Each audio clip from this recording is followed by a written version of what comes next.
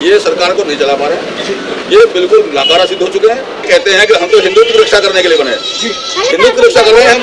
इनका काम विकास करना है नहीं। ना ये पब्लिक को नौकरी दे पाए ना पब्लिक के लिए व्यापार दे पाए। ये ज़बरदस्ती का एक सगुफा है। इनका काम है सगुफे छोड़ना। इनके पास एक ऐसी टीम है जो दिन रात सगुफे तैयार करती है।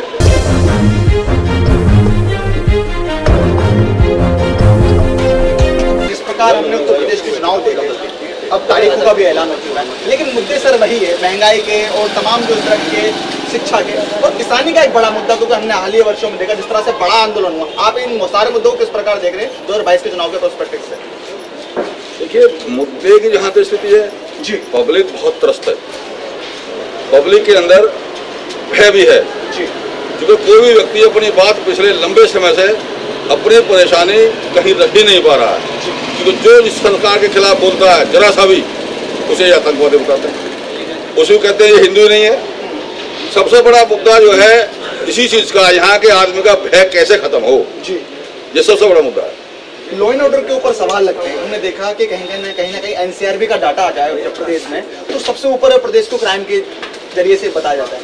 आप हमने देखा पिछले साढ़े चार साल में जिस तरह से भारतीय जनता पार्टी के ऊपर आरोप लग रहे प्रत्यारोप भी लगे। तमाम चीज़ों को आप किस प्रकार देख रहे हैं? क्या उत्तर प्रदेश को जो भयमुक्त बनाने के लिए योगी जी और मोदी जी का जो संकल्प था इसमें क्या कमी रही?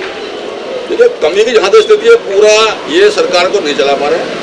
ये बिल्कुल नाकारा सिद्ध हो चुके हैं और प्रशासन की जहाँ तक स्थिति है पूरी लगाम प्रदेश की प्रशासन के हाथ में है। जी। जो चाहता प्रशासन लूट मचा रखी है बहुत बुरी तरह से। प्रशासन जैसे चाहता है अगर पहले कोई काम प्रशासन हज़ार रुपए ले करता था तो इस समय सीधे दस हज़ार रुपए ले करता है। गरीब आदमी का शोषण हो रहा है और जो मज़बूत आदमी है वो अपनी मन मर्ज़ी से धन उपार्जन कर रहे हैं। बढ़िया तरीके से। लेकिन सर मैं आपसे समझना चाहूँगा जिस तरह से मैंने देखा प्रदेश में लखनऊ के बाहर उनहत्तर हज़ार शिक्षक की नौकरियों के लिए युवा सड़कों पर है। इससे पहले किसान सड़कों पर था।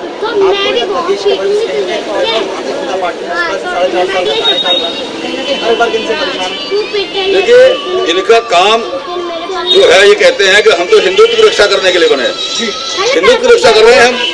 इनका काम विकास करना है नहीं? ना ये पब्लिक को नौकरी दे पाए ना पब्लिक के लिए व्यापार दे पाए। ये क्या कर रहे हैं? मंदिर बुद्धा। मंदिर बना दिया हमने। बन गया। उसके बाद अब क्या करें? अब अब ये पंजाब वाला मामला खड़ा कर दिया उन्होंने। गए रास्ते में से अपना आप लौटाए पंजाब सरकार पर जो है टिकरा फोड़ रहे हैं ज़बरदस्ती का। तो इनका काम ये मुद्दे की तलाश में रहते हैं कि तो आपको सबों नहीं का- जो सुरक्षा का चूक को जो कांग्रेस के ऊपर बताया जा रहा है पंजाब सरकार चन्नी सरकार को घेरा जा रहा है तो कहीं ना कहीं पंजाब सरकार की भी गलती है इसमें। भाई इसमें हुआ क्या? जी। भाई मुद्दा तो जब होता है कुछ होता। अगर कुछ होता है खरोच आई होती जिसने ईट फेंकी होती जिसने गाली दी होती भाजपा के लोग तो झंडा दिखा होगा आपने उसमें टीवी में? भाजपा के लोग अपने नेता नेता से मिलने आ रहे हैं तो उसमें गलती क्या है? उसमें कोई गलती नहीं है। ज़बरदस्ती का एक सगुफा है। इनका काम है सगुफे छोड़ना। इनके पास एक ऐसी टीम है जो दिन रात सगुफे पर तैयार करती है। एक सगुफा खत्म हुआ नहीं फिर दूसरा शुरू कर दिया फिर दूसरा नहीं हुआ फिर तीसरा खत्म कर दिया। शुरू कर सगु काम करने वाले इनके पास। ना युवा को रोज़गार दे पा रहे हैं लोग। तो अगर आपको पसंद आया हो तो इसे लाइक करें कमेंट करें शेयर करें। और हाँ हमारे चैनल को सब्सक्राइब करना ना भूलें ताकि देश विदेश से जुड़ी खबरें आप मिस ना करें। क्योंकि कोरोना काल में दो गज दूरी मास्क है ज़रूरी। नमस्कार।